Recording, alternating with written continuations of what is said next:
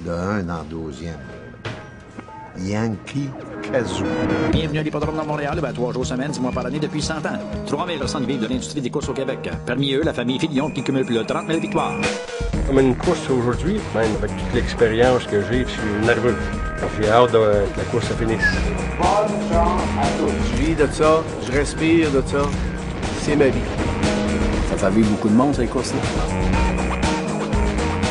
Monde qui vit avec ça. Là. Les entraîneurs, les jockeys, les éleveurs de chevaux, le monde qui travaille ici. C'est de l'argent, ça. Là.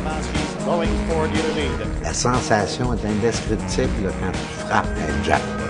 Je gage le conducteur, pas le cheval.